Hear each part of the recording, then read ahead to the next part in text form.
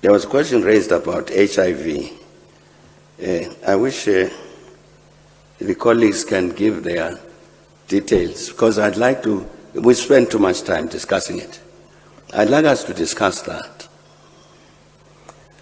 Because the questions I raised then, I'm still raising them today. today. Uh, you see, for instance, I say, uh, AIDS, the acronym.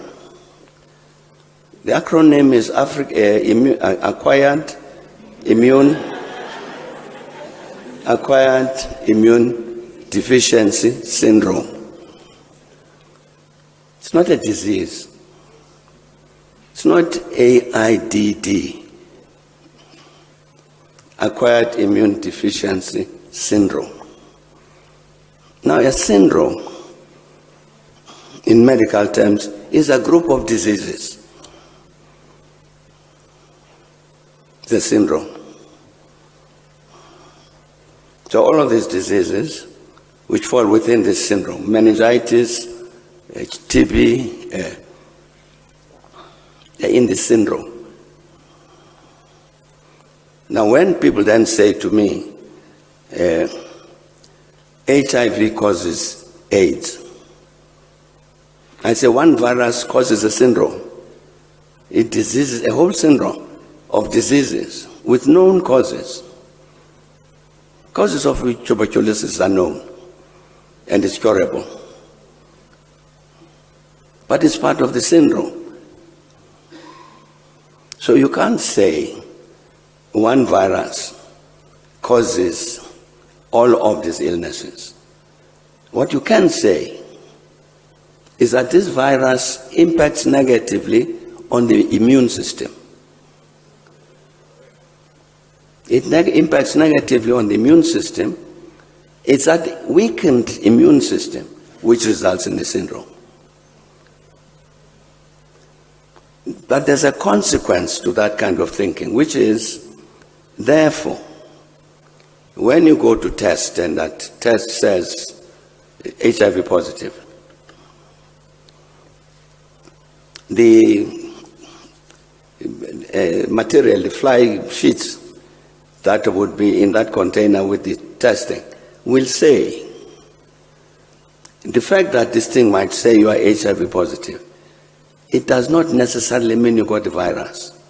What it means is that the immune system is responding to something that is threatening the body.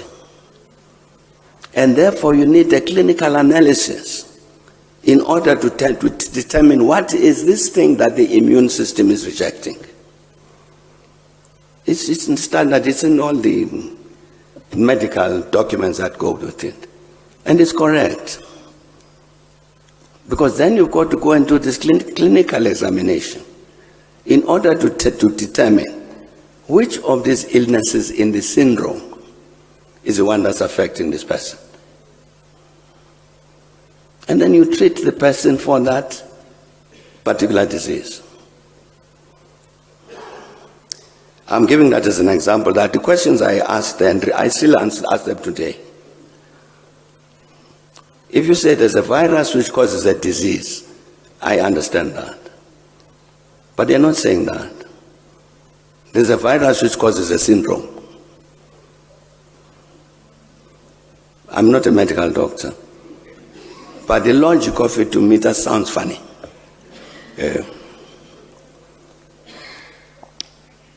Unless you say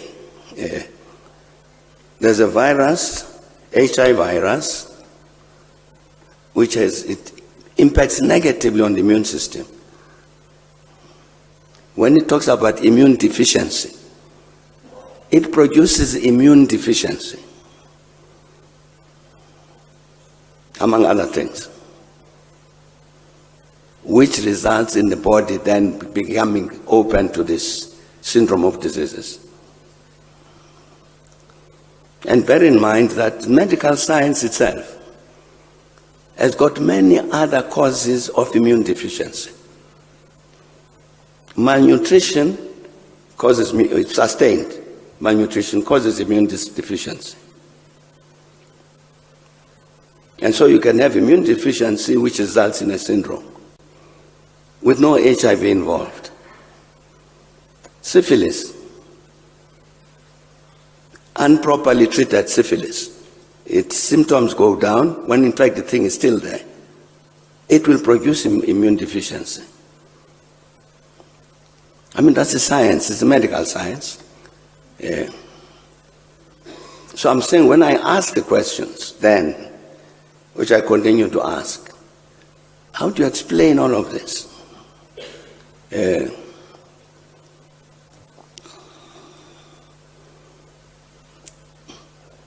so we tried to do our best to, I'm back at what I was saying earlier. You know, when, when people say, those of us who are old enough will remember this. Uh, in the 90s, that, uh, you know, this HIV and AIDS has hit South Africa. It's going to decimate the population. Real killer. So we are all in government, and so we discuss this thing and say, but this is what we are told.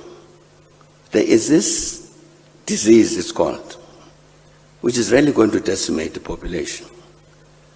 And therefore, we have to respond to it in an effective manner. What is that response? So, my view is that uh, colleagues and comrades, let us study this phenomenon so that we understand it properly, so that we respond properly. And indeed, without medical, being a medical scientist, you read and read and read, read lots and lots of stuff. And that's why you get these questions raised by medical people.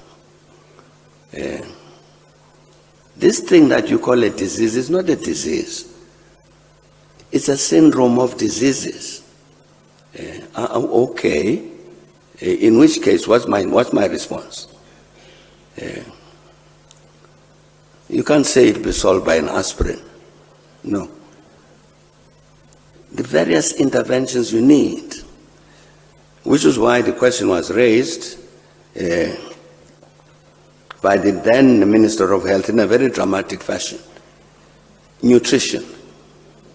Nutrition is very, very critical to solving this problem.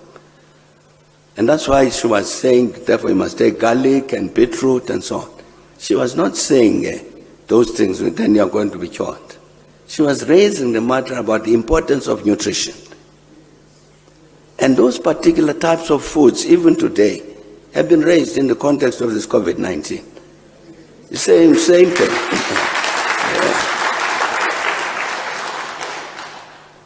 But there's somebody who's making a lot of money out of this particular story.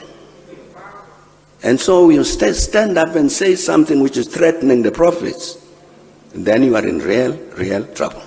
Thanks. We, the ANC, uh, has been a Pan-Africanist organization from its birth. So the questions that are raised, for instance, about SADC, integration within the SADC region, this has been part of the concept of the African National Congress forever integration on the African continent. Uh, that's why I'm saying that we've supported very much our government correctly, this continental free trade area. Yeah. Now, we, we've got to communicate our messages correctly. I agree with the, point that was made. Countries in this region, South Africa, Namibia, Botswana, Lesotho, and so on, the point that was made. Not that uh, they should exist to exist as independent countries, but this matter about integration, uh, the possibility to develop the economies together. Uh, at one point, we, uh, in the government, decided that there must be some way by which we help the, when the tourists, tourists come to South Africa, help to get them to go over the Drakensberg mountain into Lesotho.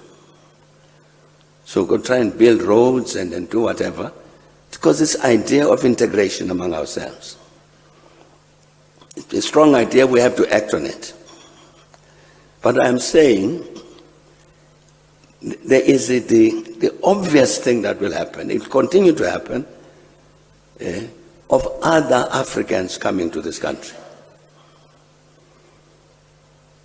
Now, I don't believe that we can have, now I'm talking from point of view of the ANC, you can't have an immigration policy which is just defined by chase away these foreign nationals. You can't.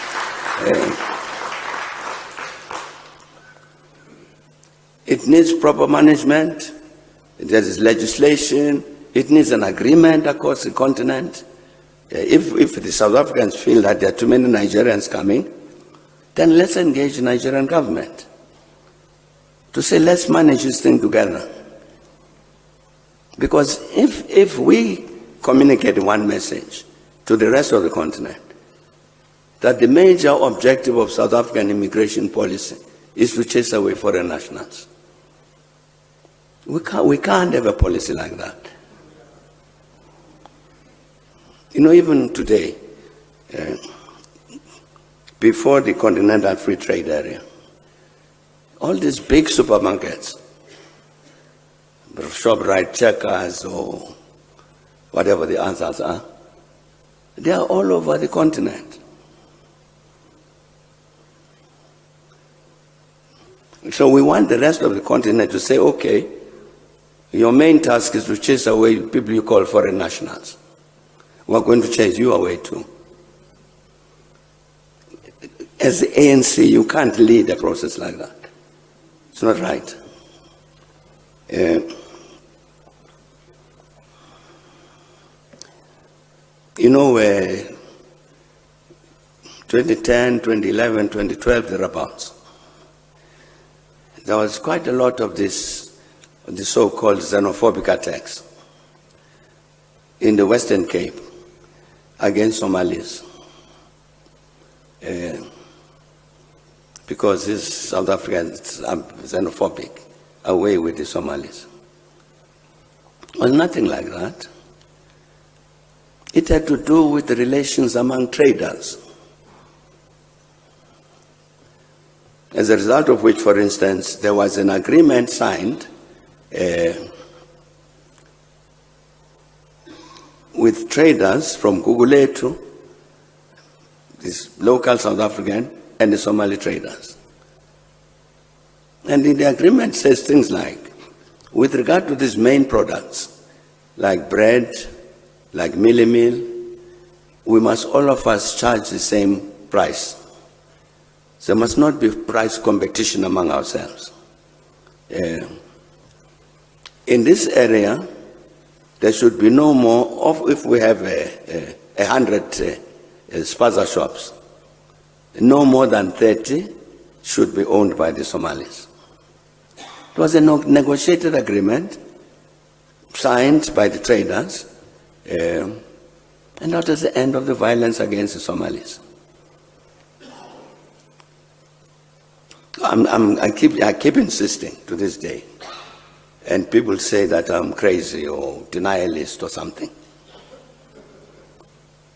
that the black population of South Africa is not xenophobic.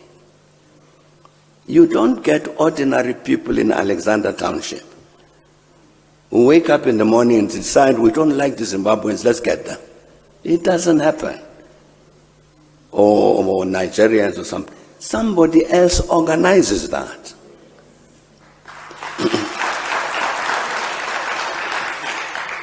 Somebody organizes it and says, uh, like the Cape, the Cape Town, the Western Cape instance I'm talking about. When these traders launch everybody, we don't, we hate the Somalis, let them go home. They are taking our jobs and so on. It's traders who are being outcompeted by the Somali traders. And when the matter is addressed and resolved, suddenly, for years and years, you've never had any xenophobic attacks against the Somalis in the Western Cape. So I'm saying, colleague, the colleague who raised the matter about migration. I think we as South Africans need to sort our thinking about this thing correctly. We see ourselves, uh, certainly from the ANC side, as an important engine for the transformation of the continent for the better. And indeed, the rest of the continent, when it engaged us in, in the struggle against apartheid, the hope was exactly that, that a liberated South Africa would be in the front ranks in terms of the transformation of the continent for the better. You can't play that role and be respected by the whole continent that at last South Africa is doing something good for the continent. When you define yourself as somebody whose main task is to chase away foreign nationals. It's contradictory. It's a challenge you've got to deal with because people will come. Uh, if, if somebody, if the government here had decided to do what uh, President Trump tried in the United States, to build a wall and electrify fences to, in order to keep a fortress South Africa, it wouldn't work. People would still come. And I would never want to see a South Africa which encircles itself with electrical fences.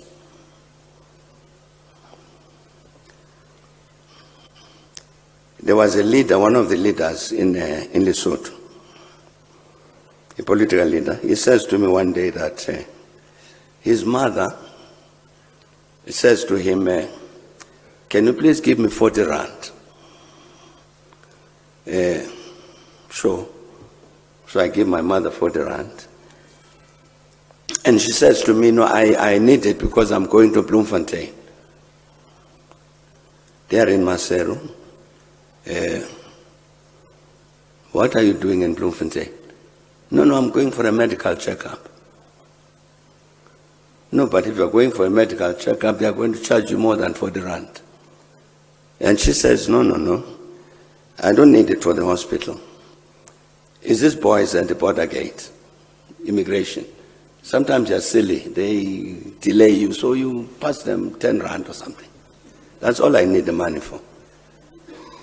And then when you get to Bloemfontein, the hospital, she's got a South African ID number, card. She says, no, this is fine. I, I produced this and that's fine. And he said to me, you know, I didn't know my mother in the South African ID card. She had. Yeah. The reality, part of the reality here, is that you have many people who cross from Eswatini to South Africa to collect grants. It's the same for Lesotho. Now, do you want to put an electrical fence there to stop those people coming? Yeah. These are other foreign nationals who are coming to take your grants. South Africa has got to be bigger than that. Yeah.